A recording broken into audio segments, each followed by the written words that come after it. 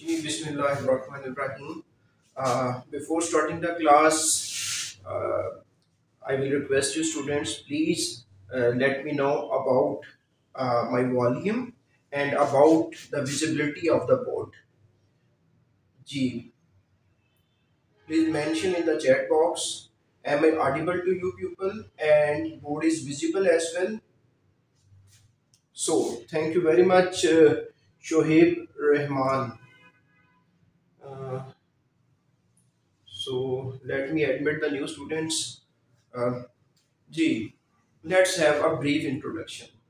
Uh, dear students, this is Zahid Rasul Guraya. Uh, I am associate member of ICMA Pakistan, associate member of Pakistan Institute of Public Finance Accountants, and LLB, ex-inspector FBR, uh, and visiting faculty at Government College University Lahore and ICMA Pakistan. Besides this, uh, most of the student will familiar that I uh, I have conducted good batches of inspector inland revenue. और अब हमने preparation start करवाई lecturer commerce और assistant account officer Sindh public service commission इससे पहले inspector F I A और A D I B और others की भी हम प्रिपरेशन करवा रहे हैं। मेरी क्लास से पहले प्रीवियस दो जो लेक्चर्स थे, वो sir Shahzad, sir Mohammad Shahzad associate member of I C M A Pakistan उनके थे और वो बी एस सेवनटीन के ऑफिसर भी हैं assistant account officer Pakistan military accounts I hope कि उन्होंने कास्ट अकाउंटिंग के कुछ जो बेसिक कॉन्सेप्ट हैं, वो अच्छे देने की कोशिश की होगी आपको। आज जो मैंने आपके साथ डिस्कस करना है वो मैं बता देता हूँ कि वो क्या है। ब्रीफली मैं बताने की कोशिश करूँगा कि प्रिसाइसली अकाउंटिंग होती क्या है। आगाज़ कहाँ से हुआ? अगर हम इसको ट्रेस करने की तरफ़ जाते हैं कि कहाँ तक हम जा सकते हैं हिस्ट्री में अकाउंटिंग को इस्तेमाल कौन करता है? Who are the users of accounting? GAAP what is gap? Abbreviation किसकी है ये? जनरली एक्सेप्टेड अकाउंटिंग प्रिंसिपल्स इनके बारे में मैं बात करूँगा। कुछ अजम्पन्स होती हैं अकाउंटिंग की like cost principle monetary unit economic entity फिर अकाउंटिंग इक्वेशन क्या है? इसके कंपोनेंट्स क्या हैं? और फाइनेंशियल स्टेटमेंट्स में कौन कौन सी स्टेटमेंट है जो कि फाइनेंशियल स्टेटमेंट में इंक्लूड होती है? तो इन सारी चीज़ों को बताने से पहले अकाउंटिंग को बताने से पहले, मैं सिर्फ़ इतना अर्ज़ कर देता हूँ कि accounting is all about the numbers accounting जो है, वो सब कुछ नंबर्स के बारे में है।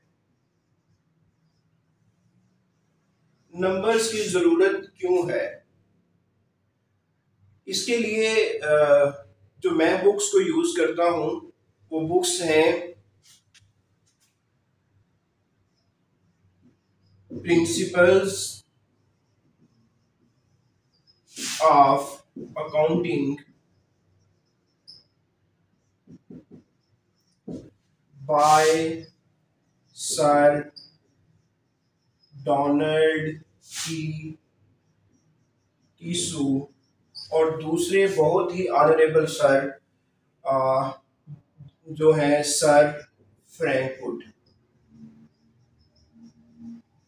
अगर आप कोई भी कॉमर्स का या अकाउंट्स का पेपर पास करना चाहते हैं तो आई विल रिकमेंड कि ये दो बुक्स आप इस्तेमाल करें इनको यूज़ करें इनको स्टडी करें।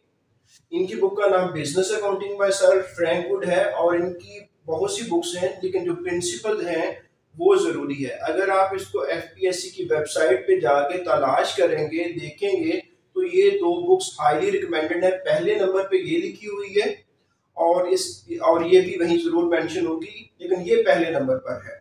तो जब इस बुक को हम शुरू करते हैं तो अकाउंटिंग को देखने की कोशिश करते हैं तो पहले ही एक जो एक बिज़नेस टाइकोन है सर जीनन हेरोल्ड वो यूएसए सिटीजन है तो उन्होंने कहा कि कोई भी बिज़नेस कामयाब नहीं हो सकता।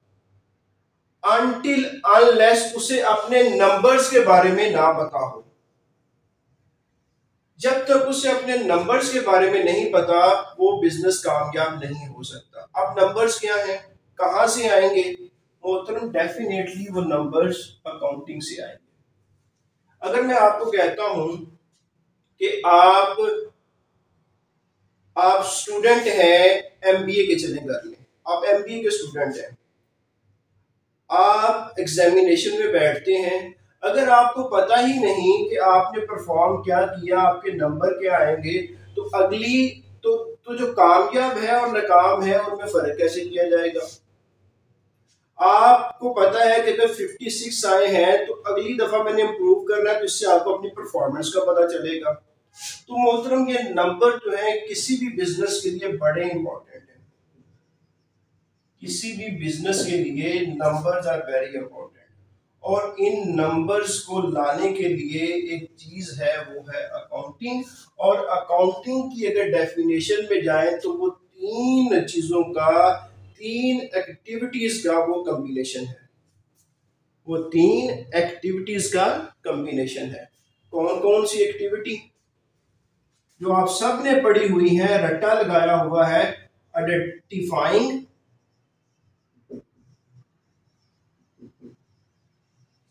दी इकोनॉमिक ट्रांजैक्शन या economic event number one accounting क्या है? मैं कहता हूँ तीन एक्टिविटीज़ का मजमुआ है। तीन एक्टिविटीज़ का अकट है। इसको मैं अकाउंटिंग कहने जा रहा हूँ। वो कौन सी एक्टिविटीज़ है? Activity number one identifying the economic event इनको मैं बताऊँगा कि आइडेंटिफाइंग द इकोनॉमिक इवेंट क्या है। अगली मैं लिख लूँ, उससे अगली फिर मैं इन तीनों को मैं बार बार अपनी सीक्वेंस में आपको एक्सप्लेन करता हूँ। नंबर टू रिकॉर्डिंग और नंबर थ्री कम्युनिकेशन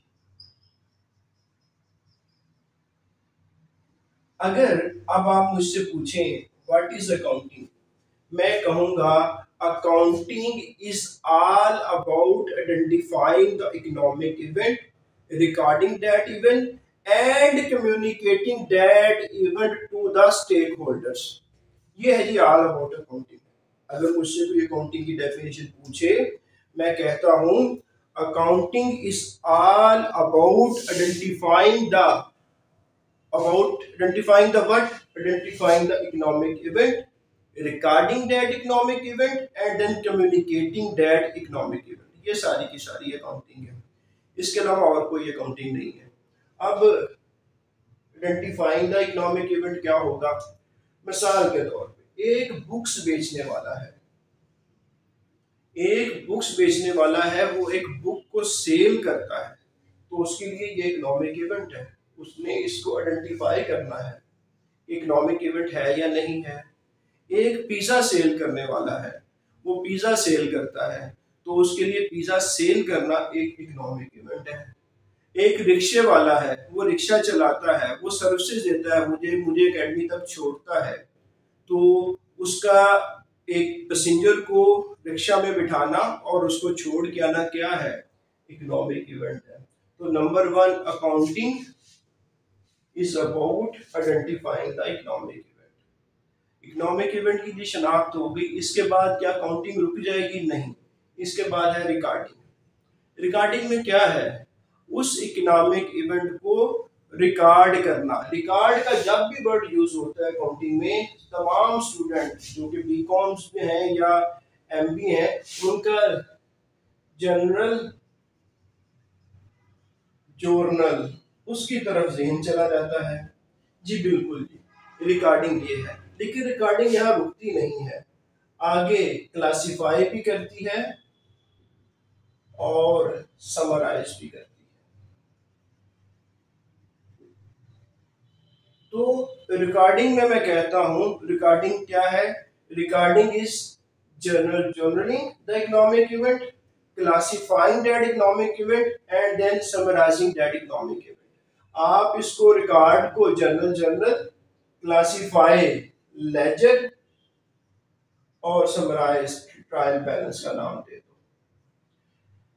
तीन चीज़ें होगी, मुझे रेड मार्कर लेने दें, ताकि फ़र्स्ट ऑफ़ ऑल जी ये थ्री एक्टिविटीज़ ये तीन एक्टिविटीज़ होगी और फिर इसका मैंने आपको जो एग्जांपल दे दी रक्शे वाले की पिज़्ज़े वाले की, किताबें बेचने वाले की। रिकॉर्डिंग में मैंने आपको बता दिया जनरल जनरल लेजर जो कि क्लासिफाइंग और summarising trial balance communication communication क्या है? ये ये रिपोर्टें तैयार करना है रिपोर्ट्स तैयार करना है। मुझे ये बताएँ कि क्या बोर्ड यहाँ पे विजिबल है जहाँ मैं लिख रहा हूँ अभी? चैट बॉक्स में मुझे प्लीज़ बताएँ। जी ये जो नीचे मैं लिख रहा हूँ, ये रिपोर्ट्स आपको विजिबल है जी। जी थैंक यू वेरी मच तो अब अगर हम अच्छा ये रिपोर्ट्स तो ये रिपोर्ट्स जब वर्ड आएगा तो आपको क्या समझ लगेगी? मोहतरम, ये वही रिपोर्ट्स हैं जिनको आप फाइनेंशियल स्टेटमेंट्स कहते हो। फाइनेंशियल स्टेटमेंट्स ठीक? तो आज के बाद अकाउंटिंग को आप कोई भी डिफाइन करें तो आप कहो जी accounting is the is the sum of three activities वो एक्टिविटीज़ कौन सी हैं? वो एक्टिविटी है identifying the economic event recording that economic event, and then communication of that economic event to whom? To those people who are stake, stakeholders or who who can use that information. तो ये accounting होगी तो accounting का हमें पता चल गया जी recording में फिर मैं अगेन रिपीट कर देता हूँ। आगे जाके इसी को सपोर्ट लेकर मैं आपको कुछ और पढ़ाऊँगा। मैं आपको बुक कीपिंग में इसका फ़र्क बताऊँगा कि अकाउंटिंग और बुक कीपिंग में क्या फ़र्क है। अक्सर जॉब्स आती हैं, हमें बुक कीपर चाहिए। तो वो क्या कहना चाह रहे होते हैं? उनको कौन सा बंदा चाहिए? वो मैं आपको यहाँ से हाईलाइट करूँगा। यही चलो मैं बता देता हूँ कि अगर आपसे कोई पूछे कि अकाउंटिंग और बुक कीपिंग में क्या फ़र्क है। जनाब, जो बुक कीपर होता है वो रिकॉर्डिंग करता है, बस। अकाउंटिंग एक मुकम्मल प्रोसेस है, जिसमें ये तीन एक्टिविटीज़ आती हैं। बुक कीपिंग में क्या है? बुक कीपिंग में जनाब सिर्फ़ और सिर्फ़ सीरियल नंबर टू है। और सीरियल नंबर टू क्या है? रिकॉर्ड क्लासिफाई और समराइज तो ये है। अभी आपसे कोई पूछे तो हम कह सकते हैं पेपर में आ जाए क्वेश्चन तो हम कह सकते हैं bookkeeping is a part of accounting is ingredient of accounting अगर बुक कीपिंग नहीं होगी, जिसमें ये सारे का सारा रिकॉर्डिंग जिसे हम कह रहे हैं, ये नहीं होगा तो अकाउंटिंग कैसे कंप्लीट होगी? और हम ये भी कह सकते हैं पेपर में वो ये भी कह सकता है is accounting a broader term or bookkeeping is a broader term तो डेफिनेटली जिसके अंदर कोई चीज़ होती है, वो ब्रॉडर होता है, जो अंदर होता है, वो ब्रॉडर नहीं होता, वो शार्टर होता है। तो यहाँ पे हम बुक कीपिंग रिकॉर्डिंग को कहेंगे।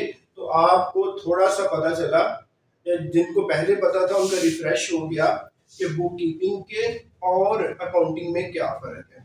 तो अकाउंटिंग आप इन तीन एक्टिविटीज़ को आपने समझ लेना है और फिर record journal classify ledger summarise trial balance और फिर कम्युनिकेशन फाइनेंशियल स्टेटमेंट ये मैं नहीं कह रहा, ये सर डॉनर डी किसू कह रहे हैं। और इनकी बुक्स जो हैं, जो हमारे स्टूडेंट्स होंगे सर डॉनर डी किसू की बुक और सर फ्रैंकफुट की बुक मैं इंशाल्लाह उन स्टूडेंट्स को प्रोवाइड कर दूँगा। चलिए।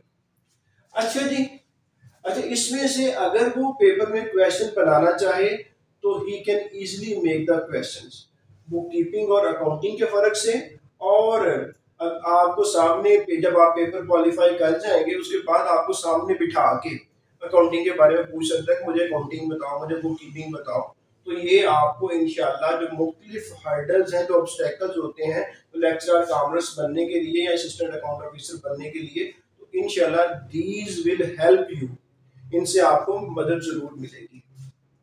अच्छा अब हिस्ट्री का मैंने इसलिए लिखा क्योंकि जब मैं सीनियर ऑडिटर का पेपर देने जाता था या मैं अकाउंट ऑफिसर का या ऑडिट ऑफिसर का पेपर देने के लिए जाता था तो हिस्ट्री में से दो से चार क्वेश्चन वो ले जाता है। मिसाल के तौर पर, सबसे पहली अकाउंट की बुक कौन सी है? कौन फादर ऑफ़ अकाउंटिंग है? वो कहाँ का रहने वाला था? उसने जो बुक लिखी, उसका नाम क्या था? ठीक है, ये सारे क्वेश्चन जो है हिस्ट्री को कवर करने के लिए फिर मैंने एक डाटा इकट्ठा किया और उसमें से क्वेश्चन बनाए ताकि मैं आपको हिस्ट्री के बारे में बता सकूँ। अदरवाइज़ कहने वाले और लिखने वाले तो ये कहते हैं, जब से बिज़नेस है, उस वक्त से अकाउंटिंग है। जब से बिज़नेस है, उस वक्त से अकाउंटिंग है। Like thirty five hundred year before Christ मौजूद है।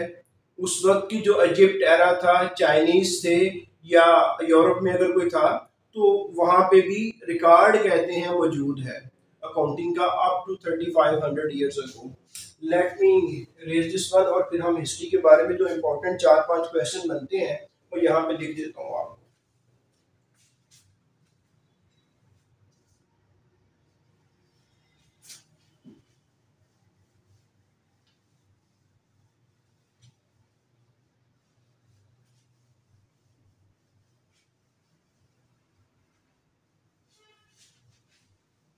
अच्छा यहाँ पे एक और भी आपको बता दूँ। कि अगर कोई बिज़नेस कामयाब होना चाहता है ना तो उसके जितने भी लोग हैं, उसको, उनको अकाउंटिंग की अगर अंडरस्टैंडिंग होगी तो वो इजीली कामयाब हो जाएगा। वो क्यों? क्योंकि हमें एक और एग्जांपल दी गई है। एक एसआरसी कंपनी है जिसके हेड है जैक स्टेक वो कंपनी फेल हो रही थी अमेरिका में। तो उन्होंने क्या किया? उन्होंने जितने भी अपने एम्प्लॉय थे उनको अकाउंटिंग का कोर्स करवाया। और कोर्स करवा के एक एक सिस्टम डेवलप किया। उस सिस्टम को कहते हैं ओपन बुक मैनेजमेंट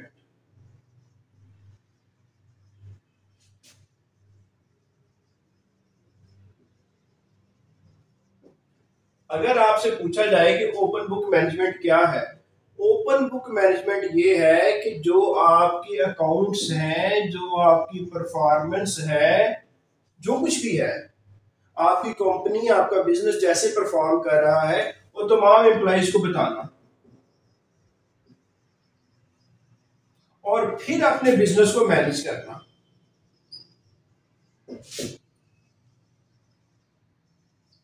इसको ओपन बुक मैनेजमेंट कहते हैं। इम्प्लाइज को बताने के लिए अंडरस्टैंडिंग के लिए उनको अकाउंटिंग का पता होना चाहिए। तो जैक स्टैक जो है इनकी कंपनी कंपनी जो थी एट वर्स ऑफ़ फेलवर थी। फेलवर होने के बिल्कुल करीब थी। इन्होंने क्या किया?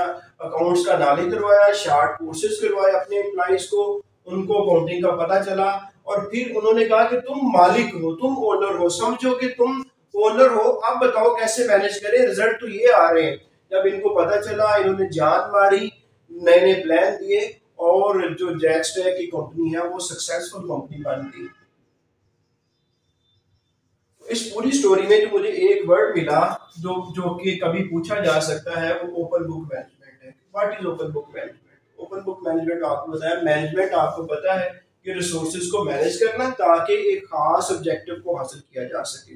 अगर मैनेजमेंट का वर्ड कहीं पे भी हो तो आपको पता होना चाहिए कि मैनेजर क्या कर रहे होते हैं। रिसोर्सेज वुमेन भी रिसोर्स है एसेट्स जितने हैं, सारे रिसोर्सेज हैं उनको इस तरह यूटिलाइज करना कि जो ऑब्जेक्टिव है अदारे का, जो मकसद है अदारे का, जो मकसद है बिज़नेस का, वो हासिल किया जा सके। इसी को तो मैनेजमेंट कहते हैं, और तमाम जितने भी बिज़नेस का मकसद क्या होता है? मुनाफा कमाना अर्न प्रॉफिट तो मोहतरम प्रॉफिट कमाना होता है तो इसीलिए ओपन बुक मैनेजमेंट का आप समझ लेना। मैनेजमेंट ये ओपन बुक खुली किताब तमाम अकाउंट्स उनके सामने रखती है कि ये लो समझो और जान मारो और बिज़नेस को कामयाब करो। होता है इस तरह कि लोग ओनरशिप लेते हैं। जब ओनरशिप लेते हैं तो मेहनत करते हैं।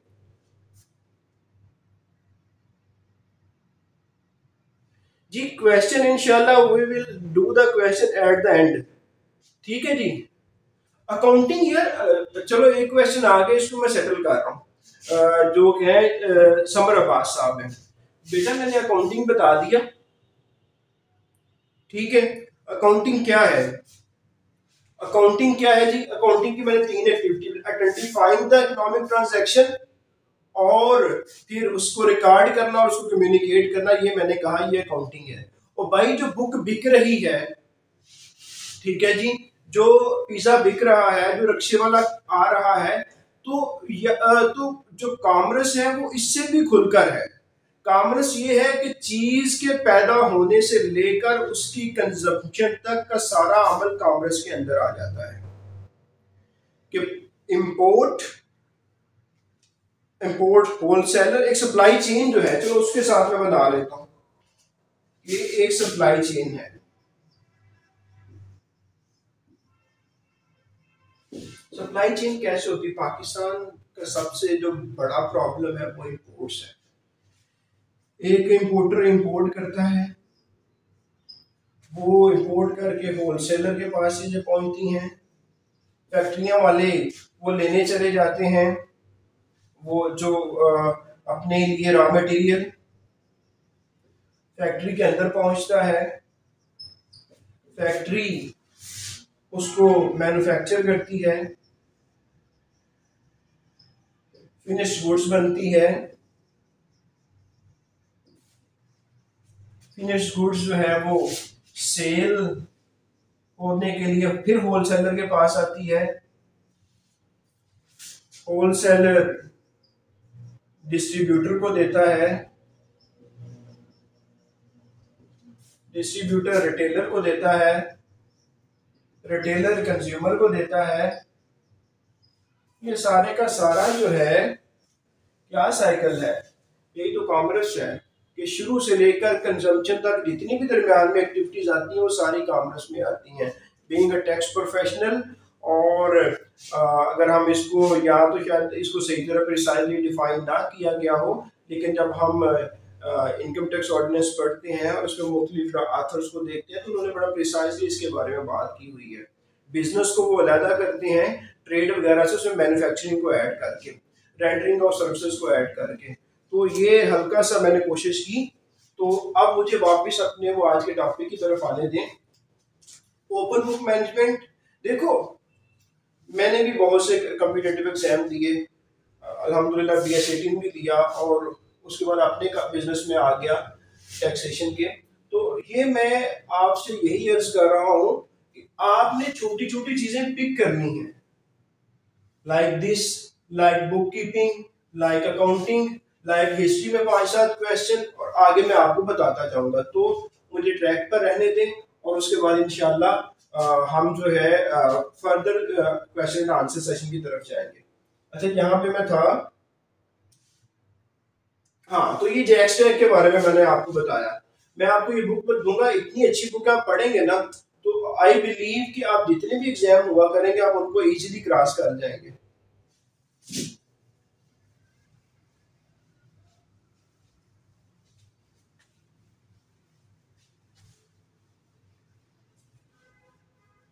अच्छा हिस्ट्री के बारे में यार पहली बात कि पहले मैं बुक की तरफ़ आ जाता हूँ, जो कि हमें भी कई दफ़ा एग्ज़ाम में उस क्वेश्चन का सामना करना करना पड़ा।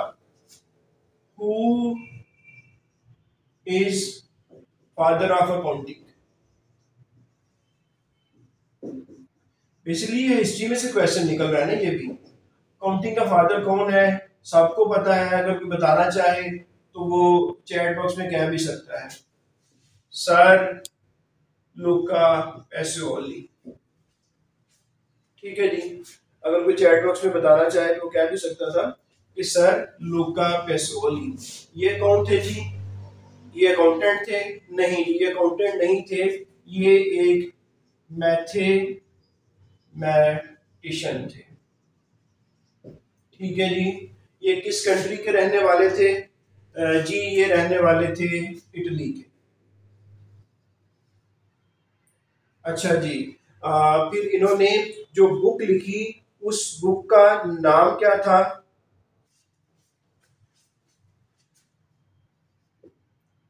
आ, उस बुक का नाम everything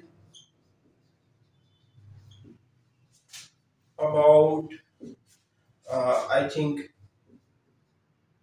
arithmetic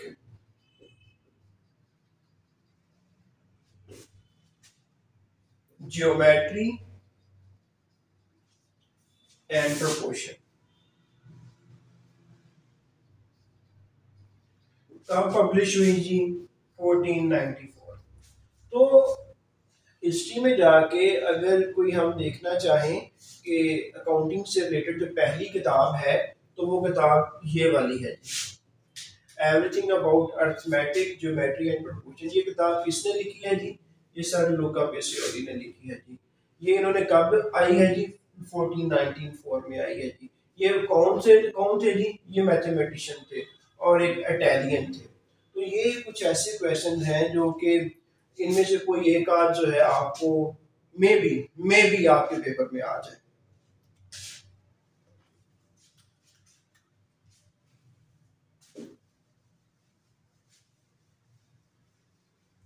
अच्छा तो ये जो बुक थी ना बेसिकली इसमें हाईलाइट किए गए थे बुक कीपिंग के बारे में। कंप्लीट अकाउंटिंग नहीं थी बुक कीपिंग के बारे में। और बुक कीपिंग आपको पता चल गया कि बुक कीपिंग क्या है? ये रिकॉर्डिंग वाली एक्टिविटी जो है अकाउंटिंग की, ये वो है।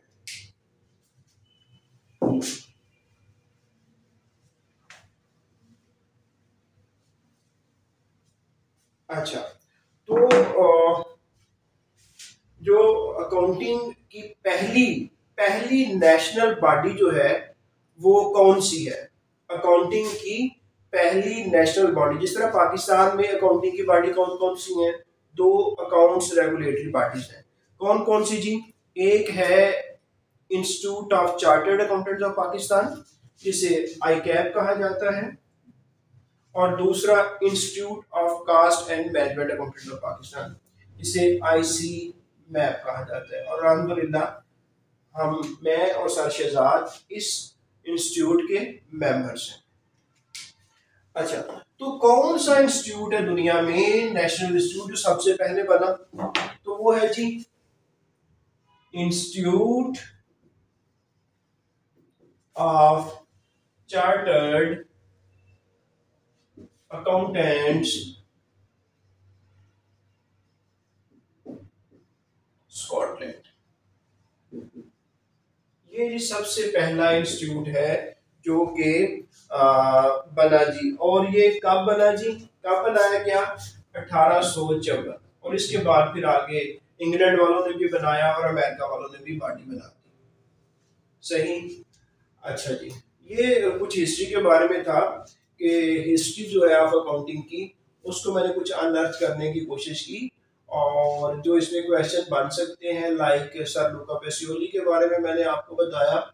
और फिर जो पहला इंस्टीट्यूट है, जो नेशनल इंस्टीट्यूट है, उसके बारे में मैं आपने, आपको मैंने बताया। और हिस्ट्री के बारे में कुछ और क्वेश्चन भी हो सकते हैं, लेकिन फिर वो कुछ एक्स्ट्रा हो जाएगा हिस्ट्री के बारे में। कि लाइक जो अब यूके है, वहाँ पे जो रिकॉर्ड मौजूद है, उस रिकॉर्ड का नाम अकाउंटिंग का पाइप रोल कहा जाता है। मे भी कुछ इस तरह की शेप का हो, जिसकी वजह से पाइप रोल कहा गया। ये कुछ 1100 जो सन है, जो ईयर है, वहाँ से लेकर 1830 तक ईयर तक, जो किंग ऑफ़ इंग्लैंड है, उसका जो खाता है, आप कह सकते हैं कि उसके जो टैक्सेस हैं मीन जो सरकार के टैक्सेस हैं, जो रेंट है, कुछ फीसेज हैं, कुछ फाइन्स हैं उन सारे रिकॉर्ड को वो पाइप रोल कहते हैं, और ये रिकॉर्ड इंग्लैंड में आज तक मौजूद है बकौल सर फ्रैंक वुड के। तो पाइपरोल के बारे में अगर वो पूछें तो आप बता सकते हैं कि पाइपरोल जो किंग है इंग्लैंड का, उसका रिकॉर्ड है, और ये कुछ इस तरह से इन ईयर्स का मौजूद है। तो मेरे ख्याल से हिस्ट्री काफ़ी है। हिस्ट्री के बाद अकाउंटिंग को हमने देख ली। Accounting is a process of identifying the economic event recording that economic event and then communicating it ये इट्स ऑल अबाउट अकाउंटिंग किसके लिए करते हैं? हु आर द यूज़र्स कौन इनको इस्तेमाल करता है? कौन इस अकाउंटिंग का इस्तेमाल करता है? तो जी, इसके दो बड़े इस्तेमाल करने वाले हैं। एक है इंटरनल यूज़र्स और दूसरे एक्सटर्नल यूज़र्स आपको सर ये तो बड़ा आसान आपने बता दिया इंटरनल और एक्सटर्नल अब इंटरनल और एक्सटर्नल के बारे में थोड़ा सा बता भी दें कि ये कौन होते हैं। जी इंटरनल मिसाल के तौर पर, अदारे में क्या होता है? फॉर एग्जांपल एक बड़ा बिज़नेस है एक बड़ी कंपनी है उसके अंदर डिपार्टमेंट होते हैं। जी बिल्कुल होते हैं।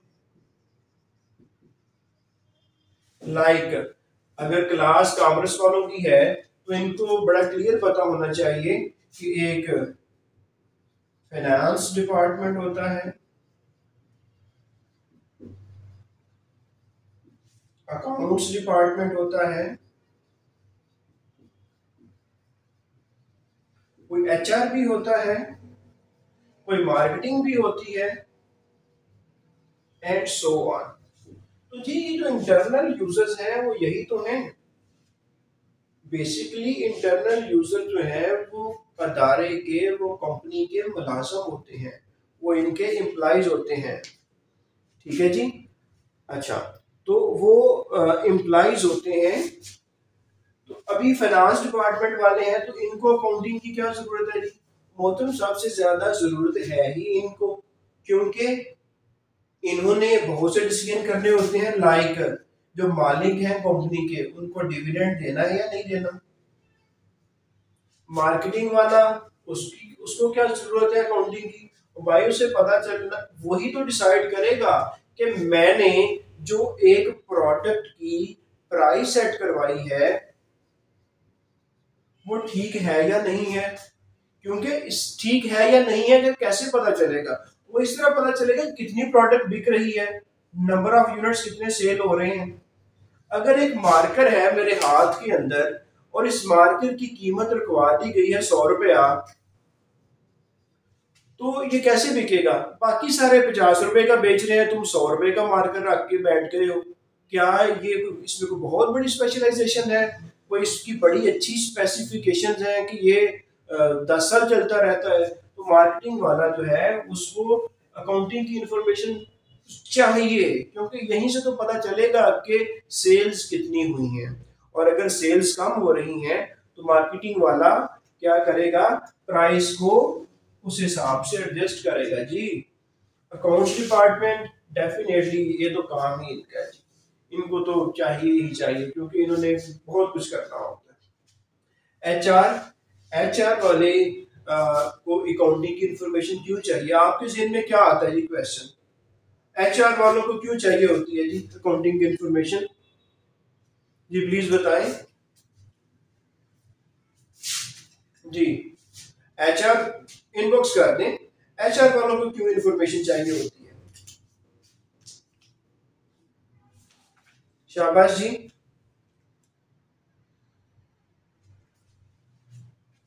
हाँ ठीक है जी। फास्ट साहब मैं ही चाह रहा था कि मुझे आंसर मिले ताकि हाँ जी एच वालों को यार इसलिए इंफॉर्मेशन चाहिए कि देखो कंपनी अगर मुनाफा कमा ही नहीं रही कंपनी लास्ट में जा रही है, एक ईयर पूरा हो गया है, अगले साल एम्प्लॉज कह रहे हैं, हमारे सैलरीज बढ़ाओ।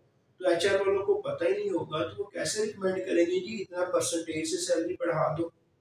तो इसलिए एच आर वालों को भी इंफॉर्मेशन की ज़रूरत होती है। अब मुझे बताओ पेपर में जो आने वाला क्वेश्चन है, मैं उसकी तरफ़ आता हूँ। ये सारी इंफॉर्मेशन जो है अकाउंटिंग की, किस टाइप ऑफ़ अकाउंटिंग से जो है वो इंफॉर्मेशन मिलती है? जी, आप मुझे करेंगे इनबॉक्स मेरा क्वेश्चन समझ लें। अकाउंटिंग अकाउंटिंग के आगे बहुत से फील्ड्स हैं। आगे बहुत सी टाइप्स ऑफ़ अकाउंटिंग है। इंटरनल यूज़र्स हैं। इंटरनल यूज़र्स ये वाले हैं। ये इंटरनल यूज़र्स के हिसाब से अकाउंटिंग कौन सी अकाउंटिंग जो है, इनको इंफॉर्मेशन दे रही होती है? फाइनेंशियल अकाउंटिंग तो यहाँ पे दोस्तन मैं कहता हूँ कास्ट अकाउंटिंग और जी कोई और समर, समरबास के अलावा। तो Samar your answer is quite near not correct देखो,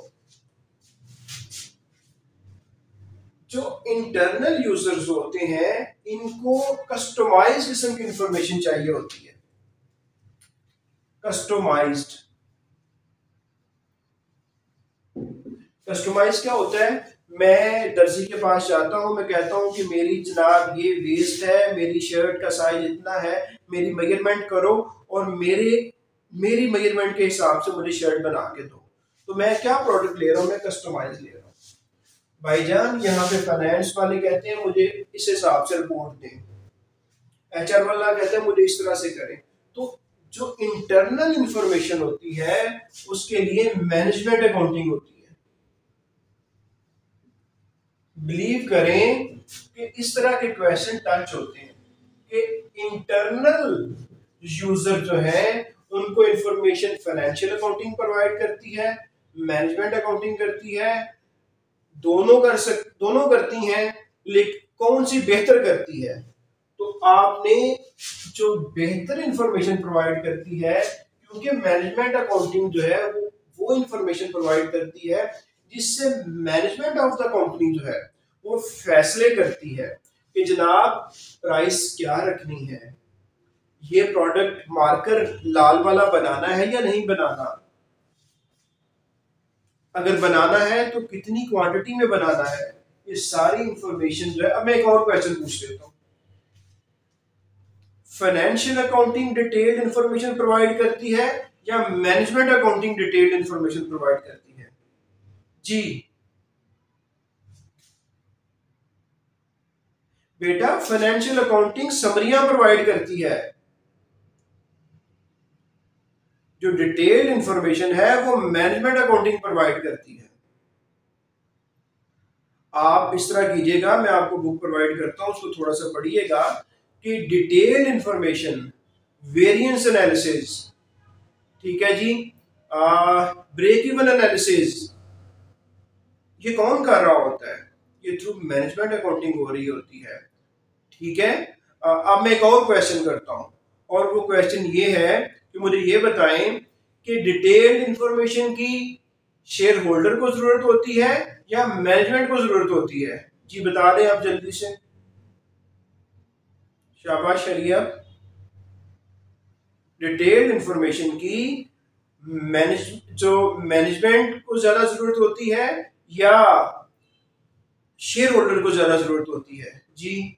तो आपका आंसर बिल्कुल सही है जी शुएब तो ये इसी तरह के क्वेश्चन होते हैं जी पेपर में। और किस तरह के होते हैं? वो इसी तरह की चीज़ों को टच करेगा।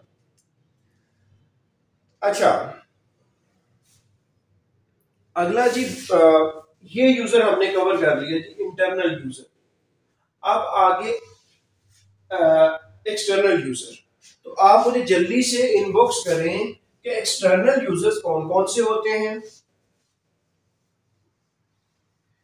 एक्सटर्नल यूज़र्स अगर मैं सिर्फ़ पूछूँ कि दो ब्रॉड कैटेगरीज बताएँ, दो ब्रॉड अगर आपको पेपर में पूछ लिया जाए कि दो ब्रॉड कैटेगरीज बताएँ जो कि यूज़र्स ऑफ़ है इंफॉर्मेशन एक्सटर्नल तो आप कौन से बताएँगे?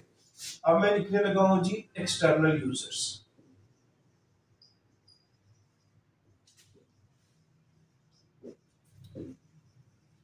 इनकी टू ब्रॉड कैटेगरीज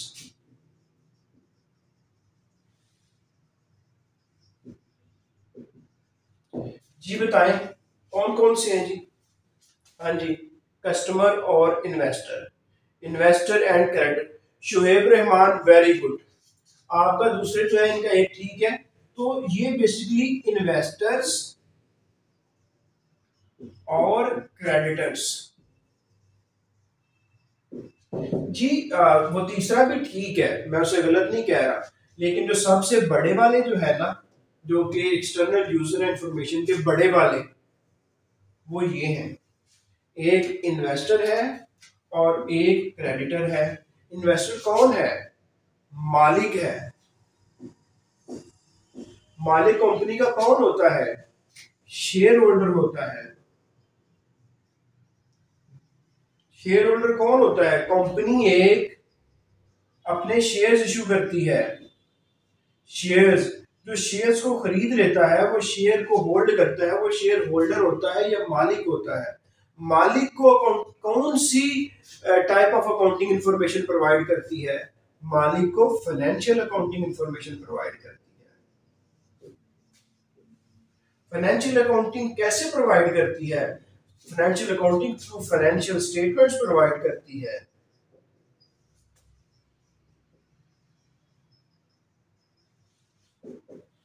ठीक है जी?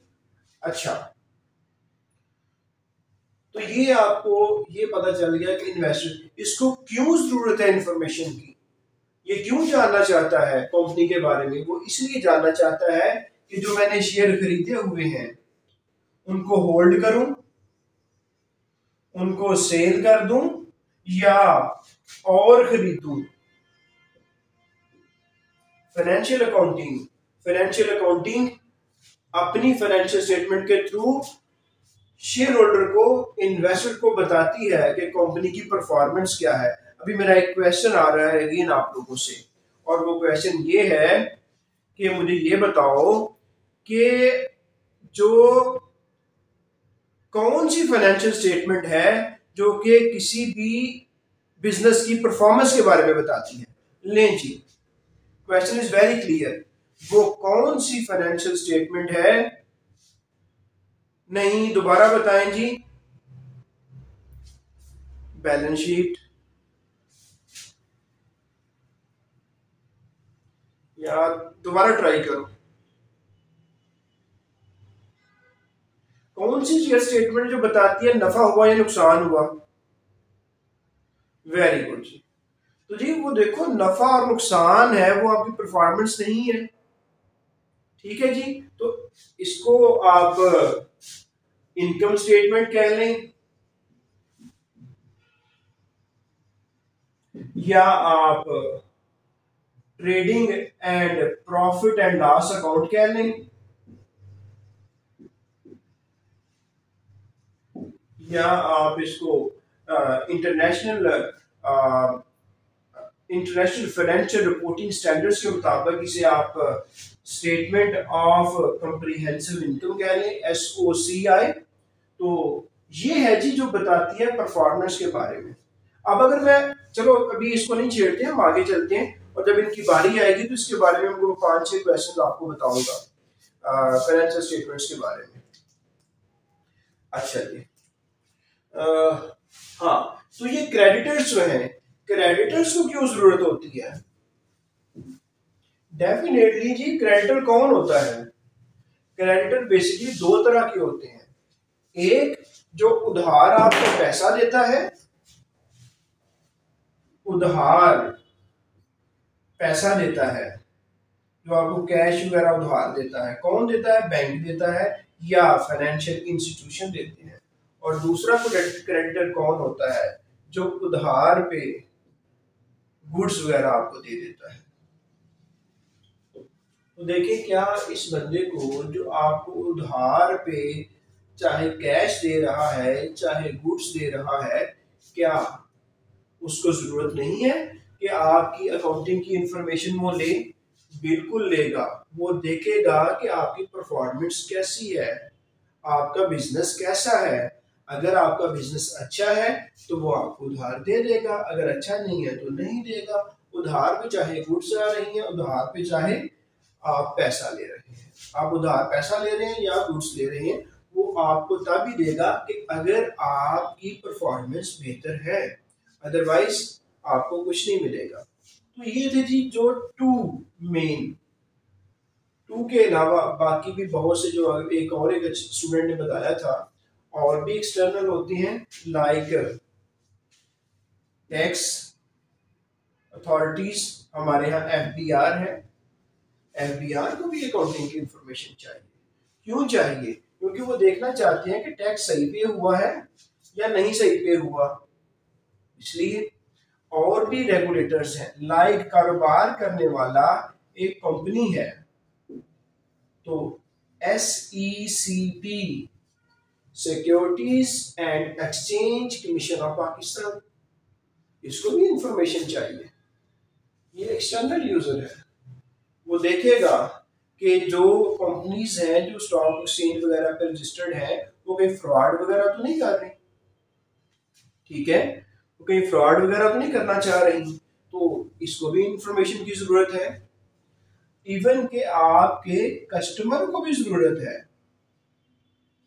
कस्टमर को क्यों ज़रूरत है? लाइक like, मैं जनाब को एक लाख रुपए का एसी खरीदता हूँ।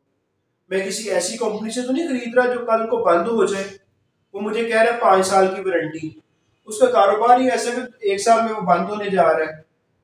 तो क्या मैं उससे खरीदूँगा?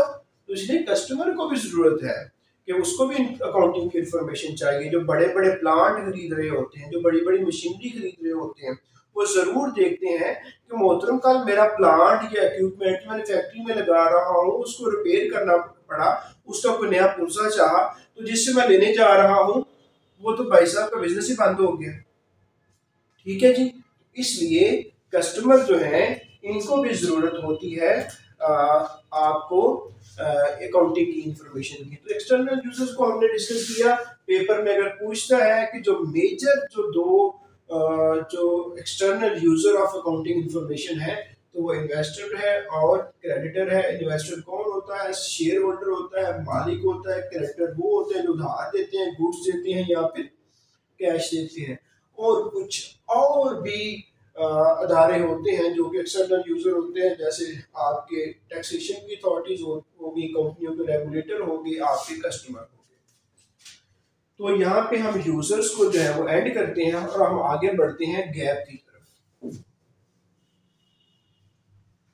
जी तो जल्दी से जो बताना चाहता है गैप के बारे में, वो चैट में बता सकता है। What is GAAP some time paper में ये भी आ जाता है कि गैप क्या है। GAAP is abbreviation of what तो जल्दी से बता दें जी। गैप क्या है जी?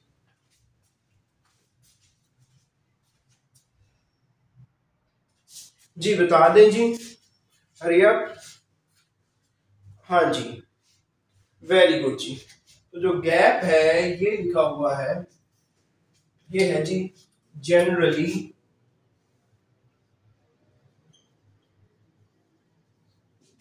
accepted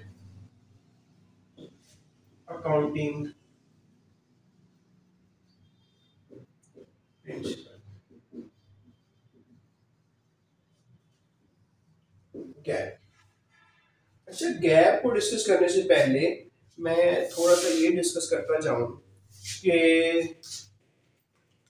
एथिक्स होते हैं कुछ अकाउंटिंग में? एथिक्स या एथिक्स होते हैं अगर आप कोई भी बिज़नेस कर रहे हो, आप कोई भी कारोबार कर रहे हो तो उसमें एथिक्स होते हैं या नहीं होते? देखो डॉक्टर है, जो पेशेंट्स पेशेंट हैं, उनकी ट्रीटमेंट कर रहा है।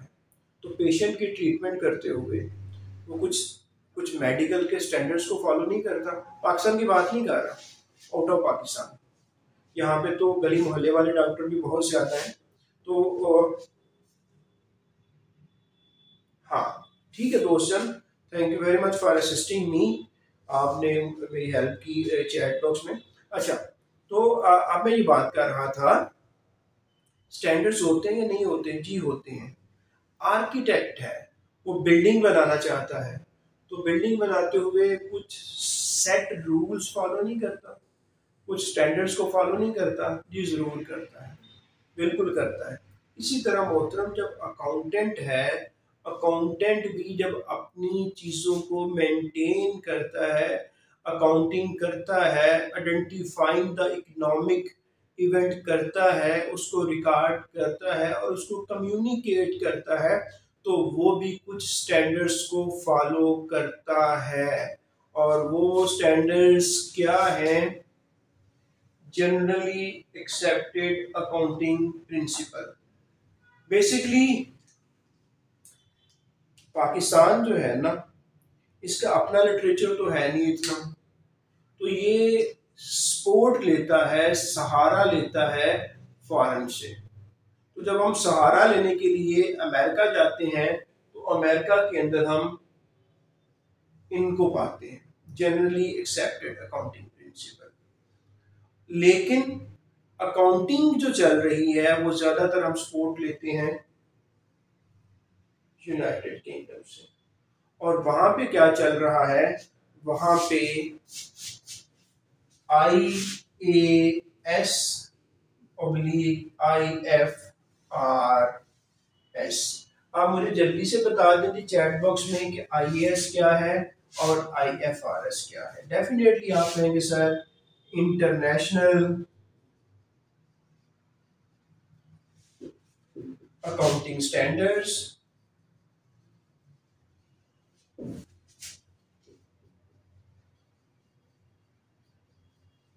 और I F R S international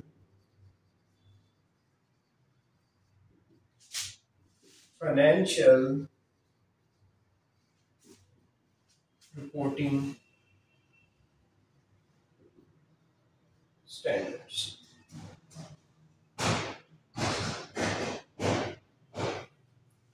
ठीक है जी। International accounting standards IAS IFRS international financial reporting standards ये यूके के हैं। आप कहेंगे कि सर ये यूके में दो क्यों हैं? ये और ये दोनों क्यों हैं? तो पहले ये हुआ करते थे, अब ये नहीं है। जो अब नए स्टैंडर्ड्स आते हैं, वो इंटरनेशनल फाइनेंशियल रिपोर्टिंग स्टैंडर्ड आते हैं आईएफआरएस ये माजी की बात होगी इनमें से जो पहले आईएएस आए थे, कुछ अभी भी चल रहे हैं। कुछ ऑब्सलीट हो गए हैं। लेकिन अगर आज की डेट में नया अकाउंटिंग स्टैंडर्ड आएगा तो इंटरनेशनल फाइनेंशियल रिपोर्टिंग स्टैंडर्ड होगा, ना कि इंटरनेशनल अकाउंटिंग स्टैंडर्ड होगा। चले अच्छा अब सर अब पेपर में आने वाले क्वेश्चन जो हो सकते हैं जी जनरली एक्सेप्टेड अकाउंटिंग प्रिंसिपल कौन देता है? कौन बनाता है? ये है जी एफ़ ए एस डी अब आप पूछेंगे सर ये क्या है? ये अमेरिका में मैं बता रहा हूँ ये यूएस की बात हो रही है कि जनरली एक्सेप्टेड अकाउंटिंग प्रिंसिपल जो है वो अमेरिकन है। आ, लेकिन ज़्यादातर दुनिया में अब I S oblique I F R S चल रहे हैं और पाकिस्तान में जो फाइनेंशियल स्टेटमेंट्स बनती हैं वो भी according to I S oblique I F R S बनती हैं। ना कि इसकी बेस के ऊपर बनती है। लेकिन आ, जब हम बात करते हैं एफ़ पी एस सी के बारे में तो एफ़ पी एस सी में जो पहली बुक लिखी हुई है वो सरकीसू की लिखी हुई है। तो सर कीसू की बुक में इनको ज़्यादा डिस्कस किया जा रहा है और साथ में हल्का सा इसके बारे में बताया जा रहा है। तो हम इसलिए इसका भी बताना ज़रूरी है और इसका स्टडी करना भी ज़रूरी है।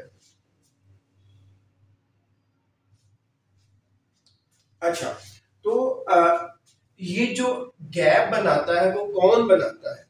वो एफ़ ए एस बी बनाता है। अब F A F A S B क्या है? फाइनेंशियल अकाउंटिंग स्टैंडर्ड्स बोर्ड ठीक हो गया जी? और I A S public I F R S कौन बनाता है? जी ये आई ए एस बी बनाता है। आई ए एस बी किसकी एब्रीवेशन है? International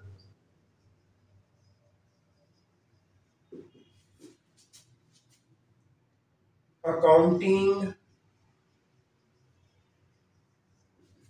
standards board IASB की रहाइश कहाँ पे है? कहाँ रहता है ये जी? ये लंदन में रहता है। अगर आपको पूछते हैं कि आईएएसबी कहाँ पे है तो जी लंदन में है। आईएएसबी किसकी एब्रीवेशन है? इंटरनेशनल अकाउंटिंग स्टैंडर्ड बोर्ड की है। आईएएसबी क्या काम करता है जी? इंटरनेशनल अकाउंटिंग स्टैंडर्ड देता है और इंटरनेशनल फाइनेंशियल रिपोर्टिंग स्टैंडर्ड देता है। जी एफ़ एस बी क्या है? जी American accounting standard setting party है। ठीक है जी? एफ़ एस बी से बनता क्या है? फाइनेंशियल अकाउंटिंग स्टैंडर्ड बोर्ड बनता है। जी आ, ये क्या देते हैं जी? गैप देते हैं जनरली एक्सेप्टेड अकाउंटिंग प्रिंसिपल ये है सारे क्या? जी ये वो स्टैंडर्ड है जिनको इस्तेमाल करके फाइनेंशियल स्टेटमेंट्स बनाई जाती हैं। आई होप कि आपको गैप के बारे में और गैप के पैरेलल यूके में जो चीज़ें हैं, उनके बारे में थोड़ी सी आगाही ज़रूर मिली होगी। ठीक है जी, अब इसके बारे में जो क्वेश्चन रह गया है तो वो मैं आपको बता देता हूँ। देखिए यहाँ पे अगर आप वो समटाइम जो है ना मेजर फ्रॉड जो हुए दुनिया में, वो कौन कौन से हुए हैं? फ्रॉड क्या है? कि लोगों का पैसा खा लिया है मुख्तलिफ़ कंपनियों ने धोखा दे के।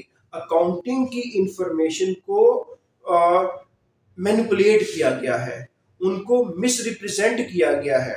तो इस मिस रिप्रेजेंटेशन जो है, इसको कम करने के लिए तो स्टैंडर्ड्स बनाए जाते हैं। जो दुनिया में मेजर फ्रॉड हो चुके हैं कंपनियों के, उनमें डेफिनेटली आप लोगों ने भी प्रेजेंटेशन बनाई होंगी, अपने बी कॉम ऑनर्स में भी और एमबीए में भी। तो उसमें मैं आपको लिस्ट बता देता हूँ। इन रॉन का एक बड़ा स्कैंडल हुआ वर्ल्ड काम का हुआ हेल्थ साउथ का हुआ और ए आई जी ये अमेरिकन कुछ अदारे हैं जहाँ पे मुख्तलिफ़ किस्म के फ्रॉड हुए। अच्छा अब हम आ जाते हैं कास्ट प्रिंसिपल की तरफ़। तो आई होप कि ये हल्का सा अगर इसमें थोड़ा सा और फ़र्क करना हो तो ये रूल्स बेस्ड है। जनरली एक्सेप्टेड अकाउंटिंग प्रिंसिपल लिख लें। रूल बेस्ड रूल और ये जो है, ये प्रिंसिपल बेस्ड है। अब आप कहेंगे, इनमें क्या फ़र्क है? जी, ये जो प्रिंसिपल बेस्ड है, ये रिजिड है। ये सख्त है। इनमें लचक नहीं है। ये रूल बेस्ड है, इनमें लचक है। एक नया सिनेरियो आता है तो ये जो गैप है अमेरिकन वाले, उसको अपने अंदर इनकॉर्पोरेट कर लेते हैं।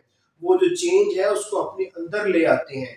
लेकिन यूके वाले जो जो कि इंटरनेशनल है, जब कोई चीज़ आती है तो इतनी जल्दी वो इनकॉर्पोरेट नहीं कर सकते। अच्छा इनमें बहुत सी सिमिलैरिटीज हैं, लेकिन कुछ फ़र्क भी हैं। वो अब हम इनको डिस्कस नहीं करते। आ, बस ये इतना सा मैंने बता दी ये रूल बेस्ड और प्रिंसिपल बेस्ड है। अब मैं कास्ट प्रिंसिपल की तरफ़ आता हूँ। कोई स्टूडेंट जो कि मेरी मदद कर सके कि कास्ट प्रिंसिपल किस चीज़ के बारे में है। कास्ट प्रिंसिपल क्या है अकाउंटिंग के अंदर? जी हरिया। अगर कोई हेल्प कर सकता है तो वो हेल्प कर दे। शाबाश जी। जी। तो अभी तक कोई हेल्प नहीं आई तो हम ये समझते हैं कि कास्ट प्रिंसिपल को बताया जाए।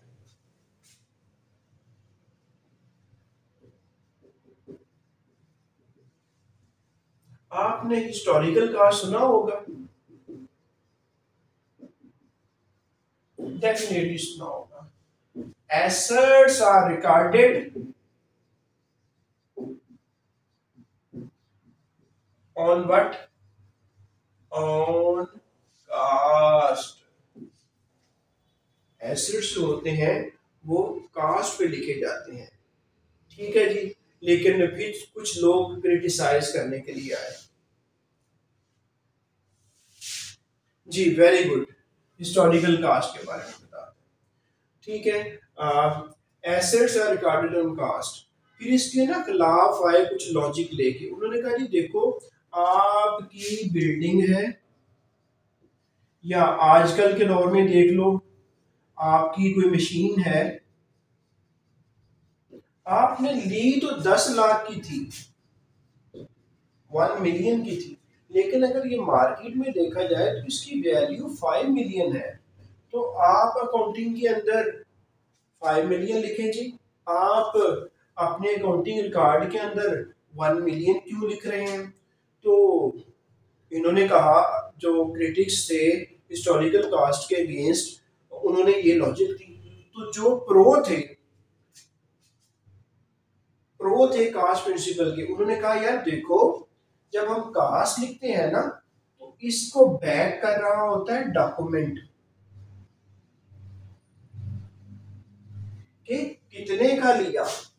इसके बैक पे आता है डॉक्यूमेंट इसके बैक पे आती है इनवाइस इसके बैक पे आती है हमने इतने पे किए। जब तुम ये वाला काम करोगे तो इसके बैक पे क्या आएगा? इसकी स्पोर्ट में क्या आएगा? इसकी स्पोर्ट में आ जाएगी सब्जेक्टिविटी अब आपको ये भी पता होना चाहिए सब्जेक्टिविटी क्या है? सब्जेक्टिविटी ये होती है कि ये मुख्तलिफ़ लोगों की मुख्तलिफ़ राय ओपिनियन कोई कहेगा जी, कि ये जो मशीन आपकी है, ये पाँच की नहीं है, ये पैंतालीस लाख की है। कोई कहेगा, नहीं यार, ये तीस लाख की है। ये क्या है? दिस इज़ सब्जेक्टिविटी अब आप इसको किस पे रिकॉर्ड करोगे? अगर आप तीन पे करोगे तो फिर भी गलत है। पाँच पे करोगे, फिर भी गलत है। ये भी करोगे, फिर भी गलत है, क्योंकि इसकी बैग पे कोई अथेंटिक चीज़ नहीं है। और इसकी बैग के ऊपर क्या है? इसकी बैग के ऊपर एक डॉक्यूमेंट है, कितने का लिया? तो इसलिए मोहतरम जितने का लिया, उसी कास्ट से ये चलता रहेगा। इसे कहते हैं कास्ट प्रिंसिपल इसे कहते हैं हिस्टोरिकल कास्ट इसी की वो एंट्री होती है, आपको पता है। Debit the asset and credit the cash दिया है तो कैश क्रेडिट कर दो। और अगर वादा किया है तो जिसको देना है, उसको क्रेडिट कर दो। ठीक है जी तो ये कास्ट प्रिंसिपल है, आगे आगे मॉनिटरी यूनिट मॉनिटरी यूनिट के बारे में मैं आपको बताता हूँ।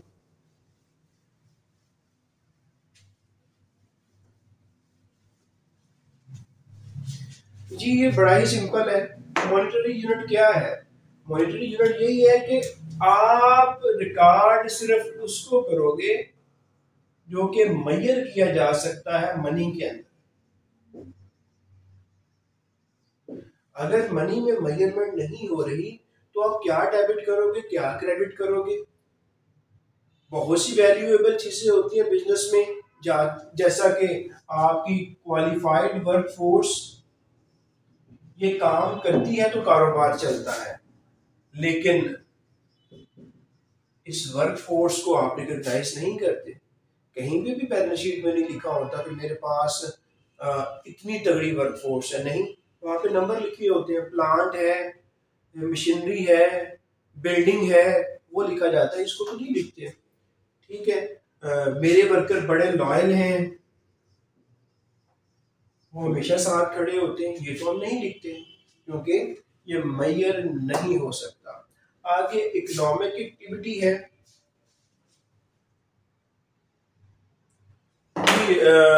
दोबारा बताएँ जी अगर कोई इशू आ रहा है तो प्लीज़ काइंडली बताइएगा जी। अब ओके हुआ है जी, शुएब? वीडियो ओके हुई है जी?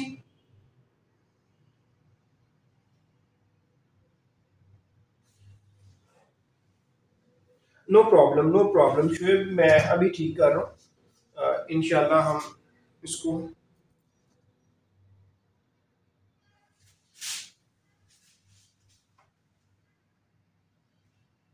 वसीम तुम क्लास में क्यों नहीं आए आप?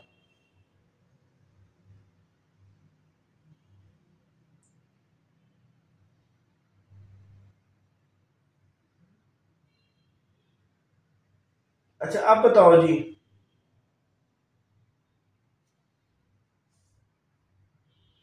आप कहानी बताएँ? सेम प्रॉब्लम है।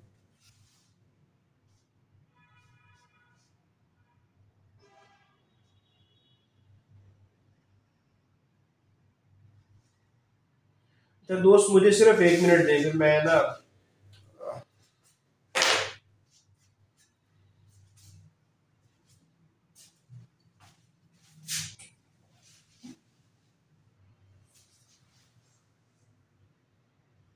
जी वेलकम बैक मैं ये बता रहा था कि मॉनिटरी यूनिट जो है, ये असम्पशन जो है, ये ये कहता है कि आप सिर्फ़ उस चीज़ को रिकॉर्ड करेंगे जिसको मैयर किया जा सकता है मनी टर्म्स के अंदर।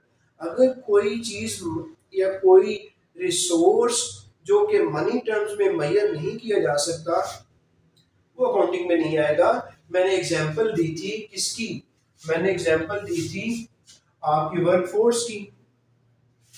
देखो वर्कफोर्स होती है, चीज़ें मैन्युफैक्चर होती हैं मैन्युफैक्चर होने के बाद सेल होती हैं। तो मेन आपका रिसोर्स क्या है? मेन एसेट क्या है?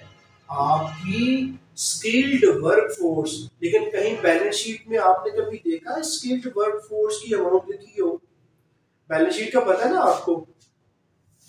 तो कभी उसमें कभी पता चला है आपको?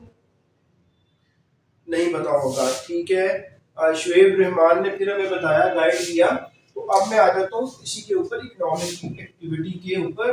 तो economic entity assumption economic entity assumption ये क्या है? जो आप कहते हैं सेपरेट एंटिटी कॉन्सेप्ट वो यही तो है। इसमें क्या है? इसमें कहा जाता है मालिक और मालिक का बिज़नेस इन दोनों के दरमियान एक दीवार खड़ी हो जाती है। कहा जाता है कि ये बिज़नेस सेपरेट है मालिक सेक्टर सेपरेट है। आ, अब मालिक की कितने किस्म हो सकती है मैं बाद में बताता हूँ लेकिन इसको मैं बता देता हूँ। देखो बिज़नेस जो है कोई भी इकोनॉमिक इवेंट होगा उसको रिकॉर्ड करेगा। मिसाल के तौर पर एक मालिक है वो पिज्जा का कारोबार करता है। ठीक है जी? पिज्जा बनाने के लिए वो पिज्जा के इंग्रेडिएंट्स लेता है। लाइक सॉस लेता है आटा लेता है आ, और अदर इंग्रेडिएंट्स लेता है, जिसको मिलाएगा तो पिज्जा बनेगा।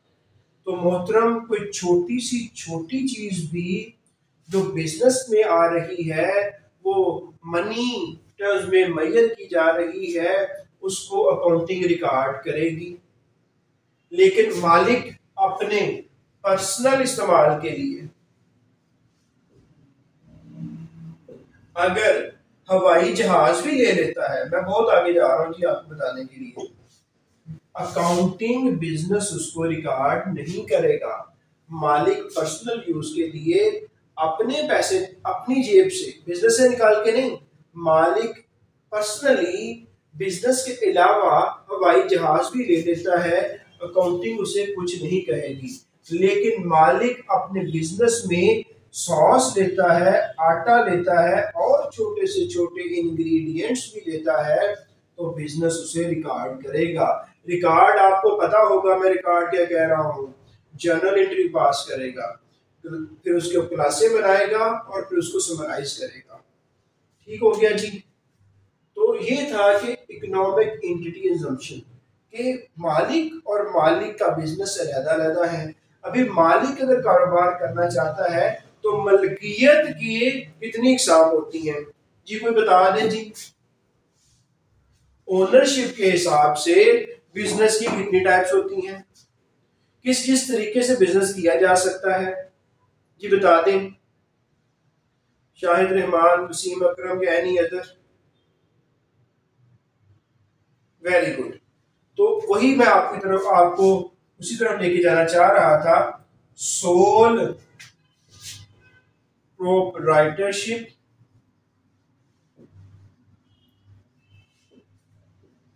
पार्टनरशिप और क्या है? कंपनी सोल प्रोपराइटरशिप में आपको पता होगा, अकेला बंदा। अकेला बंदा वन मैन आर्मी ये अकेला बंदा मालिक होता है किस चीज़ का? नफा का और नुकसान वन दी ओनली वन अकेला। नफा और नुकसान अकेले का होता है। ठीक है जी? इसे कहते हैं सोल प्रोप्राइटरशिप इसका ये मतलब नहीं है कि ये बंदा किसी को मुलाजम नहीं रख सकता। मुलाजम रख सकता है। लेकिन ओनरशिप जो है, वो इस अकेले की है। मुनाफा आता है, किसका है? इस अकेले का है। नुकसान होता है, किसका है? इस अकेले का है। ये है जी सोल प्रोप्राइटरशिप इसको नुकसान होता है, जो इसके डेटर्स हैं, जिन्हों जो इसके क्रेडिटर्स हैं, जिन्होंने पैसे लेने हैं, इससे वो इसका दर भी बेच देंगे और इसे कहेंगे कि निकालो इसमें एक भी मैं लिख देता हूँ अनलिमिटेड इसकी करेक्टर से सॉरी मैं लिखता हूँ अनलिमिटेड लाइबिलिटी कि लाइबिलिटी जो है अनलिमिटेड है, बहुत ज़्यादा है, ठीक है? इसकी कोई लिमिट नहीं है। एक होती है पार्टनरशिप पार्टनरशिप क्या है? जब दो या दो से ज़्यादा बंदे मिलते हैं और कारोबार करते हैं ताकि मुनाफा कमाया जाए, उसको पार्टनरशिप कहते हैं। ये एक दूसरा स्टाइल है ओनरशिप का। ये दूसरी टाइप है ओनरशिप की। इसमें तमाम चीज़ें ऑलमोस्ट सोल प्रोपराइटर जैसी हैं। मिसाल के तौर पर अगर नुकसान या नफा होता है तो पार्टनरशिप में जो लोग हैं, वो सारे बर्दाश्त करेंगे। अगर नुकसान होता है तो पैसे देने पड़ेंगे। देने पड़ेंगे तो जो जिन, जो क्रेडिटर होंगे, वो इनका घर भी बेच देंगे, इनकी गाड़ियाँ भी बेच देंगे पार्टनर की हमें हमारे पैसे निकाल। दो तो इसकी अनलिमिटेड लाइबिलिटी होती है। फ़र्क सिर्फ़ ये है कि ये दो या दो से ज़्यादा बंदे होते हैं और यहाँ पे एक बंदा होता है। अच्छा पेपर में क्वेश्चन आ जाता है कि पार्टनरशिप के लिए वेरी गुड तो जो मैं पूछना चाह रहा था, वो उन्होंने पहले बता दिया कि पार्टनरशिप में मैक्सिमम नंबर ऑफ़ पार्टनर्स कितने हो सकते हैं। उन्होंने कहा जी कि ट्वेंटी हो सकते हैं। और साथ में बैंकिंग कंपनी में उन्होंने कहा कि मैक्सिमम नंबर ऑफ़ पार्टनर कितने हो सकते हैं। तो बच्चों, इसको वेरीफाई कर लीजिएगा कि टेन हो सकते हैं। इसको वेरीफाई प्लीज़ कर लीजिएगा। But according to partnership act कौन सा एक्ट है जो पार्टनरशिप्स को गवर्न कर रहा होता है? आप अगर जा रहे हैं तो वेरी गुड दो हज़ार नाइनटीन तो इसका मतलब है, जो मैंने कहा था कि हम, हमें सिर्फ़ आपको ट्यून करना पड़ेगा। हमें आपकी फ्रीक्वेंसी बेहतर करना पड़ेगी। बाकी चीज़ें आप लोगों को आती होंगी। सेवेंटी के परसेंट के करीब आप जा रहे होंगे। सक्सेसफुल होने के लिए मे बी एटी चाहिए या एटी टू चाहिए। तो हम इंशाल्लाह जो एडिशन करेंगे, वो बारह चौदह का करेंगे ताकि आप मेरिट के अंदर आ जाए। ठीक है? जहाँ पे थोड़ी सी बेहतरी की गुंजाइश होगी, वो इंशाल्लाह हम आपको देने की कोशिश करेंगे। या मे भी आपके माइंड में हो कि ये वाला चीज़ टच नहीं करनी चाहिए, लेकिन हम आपको इंशाल्लाह उस तरफ़ लेके आएँगे कि आपको ये भी देख लेना चाहिए, आप पेपर में बैठने जा रहे हैं। तो अब कंपनी के बारे में भी आ जाओ यार। कंपनी कौन है रेगुलेटर कंपनीज़ का पाकिस्तान में? जल्दी से आंसर आ जाना चाहिए इसका भी। आप कहोगे एस ठीक है जी? ऐसी है जी? वेरी गुड तो आप लोग एस जो रेगुलेटर है, उसका एक्ट कौन सा है? जी securities and exchange commission of Pakistan का एक्ट कौन सा है? नहीं कंपनीज़ एक्ट की बात नहीं कर रहा। एम नॉट अब talking about the companies act 2017 I am just saying that SECP किस कानून के तहत बना?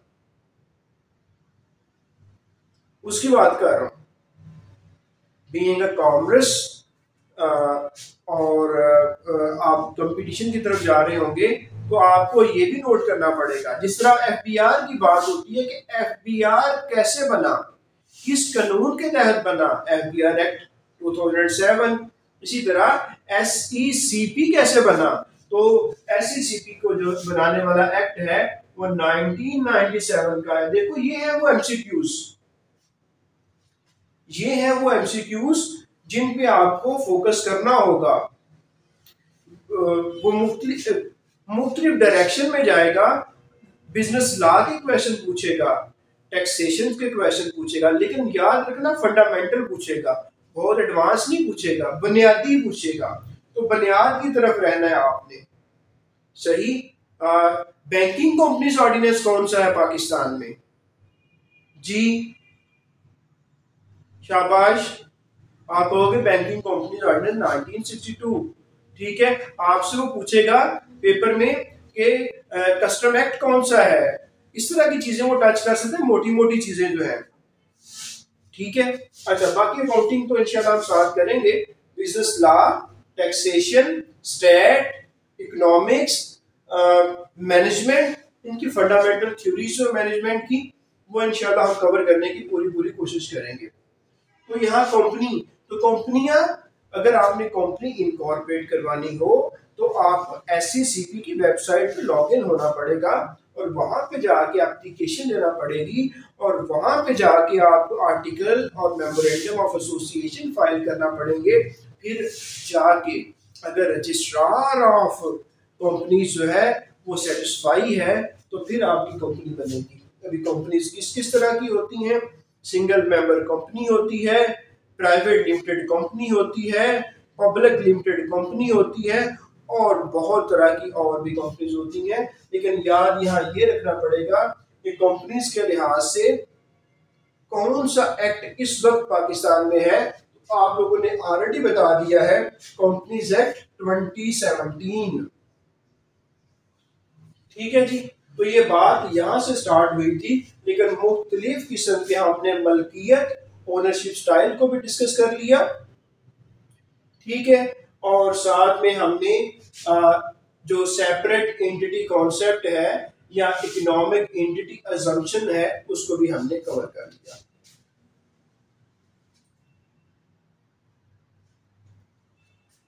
ठीक है जी? देखो कंपनीज़ की टाइप है, ठीक है? इसमें सिंगल मेंबर कंपनी भी है। अच्छा यहाँ जिसमें प्राइवेट लिमिटेड कंपनी भी है, जिसमें पब्लिक लिमिटेड कंपनी भी है। पब्लिक लिमिटेड ऐसी कंपनी जिसके शेयर जो है वो स्टॉक एक्सचेंज के ऊपर बिक रहे होते हैं, जो कि वहाँ पे लिस्टेड है, वो पब्लिक लिस्टेड कंपनीज़ होती हैं। प्राइवेट जो है, उसके मेंबर दो से लेकर पचास तक हो सकते हैं। और जो पब्लिक लिमिटेड उसके अनलिमिटेड हो सकते हैं। सिंगल मेंबर कंपनी का एक मेंबर होगा। पार्टनरशिप जो है, वो एक तो कन्वेंशनल पार्टनरशिप हो सकती है और एक एल एल पी हो सकती है। Limited liability partnership limited liability partnership के लिए I believe L L P twenty seventeen जो एक्ट है, वो वो इस्तेमाल होता है। ये सारी चीज़ें इंशाल्लाह हम साथ साथ करेंगे। अभी मुझे वो let me complete accounting equation इसकी कंपोनेंट्स और फाइनेंशियल स्टेटमेंट्स यार accounting equation is a very big topic तो आज आज आज के लिए हम इतना ही करते हाँ बिल्कुल जी, इसको मैं एक नॉर्मल वाली है और फिर इसको एक्सपेंड करके भी बताऊँगा और इसकी एग्जांपल के साथ भी बताऊँगा। तो आज के लिए प्लीज़ क्योंकि साथ साथ में हम क्वेश्चन आंसर सेशन जारी रखा हमने और जो आप लोगों ने क्वेश्चन कहे, उनका मैंने जवाब दिया। और इनशाला इनशाला we will continue with this spirit for the remaining period तो जी, जो जो रजिस्टर होना चाहते हैं आप, वो सर शहजाद साहब का नंबर है, इस पर आप कॉल करें और अपनी रजिस्ट्रेशन करवा लें। और इन जो जो रजिस्टर्ड स्टूडेंट होंगे, उनके लिए हम जो कल से रेगुलर क्लासेस का आगाज़ कर देंगे। और हम दोनों ही चीज़ हम जो प्रोवाइड करने वाले हैं, वो दोनों एसोसिएट मेंबर हैं accounting regulatory bodies of Pakistan के तो इनशाला इनशाला we will try to give you the concepts जो कि कॉन्सेप्ट्स आपको आपकी प्रैक्टिकल लाइफ और सिलेक्शन प्रोसीजर दोनों में हेल्प करेंगे। सो रजिस्ट्रेशन फ़ी जी जो है वो टेन थाउज़ेंड है जी। ठीक है जी? तो you are more than welcome जी जो स्टूडेंट आना चाहते हैं। और फर्दर अगर आप देखना चाहते हैं जी कि ये तो तीन लेक्चर है सर तीन लेक्चर में तो कोई एक्टिंग भी कर सकता है। तो फोर्टी टू फिफ्टी लेक्चर्स मेरे हैं, वो यूट्यूब के ऊपर मौजूद हैं। और इसमें ज़्यादातर स्टूडेंट जो है वसीम अक्रम हो गया दाऊद हो गया और दो चार हैं वो दे दे दे नो नो मी कि हम कॉन्सेप्ट की तरफ़ जाते हैं और इन डेप्थ जाते हैं। तो हम कोशिश करेंगे इन डेप्थ ही जाएँ और जो नए स्टूडेंट हैं उनकी भी हेल्प करें। सो so, इनशाला जी सी यू टमारो जो रजिस्टर्ड स्टूडेंट होंगे thank you very much ji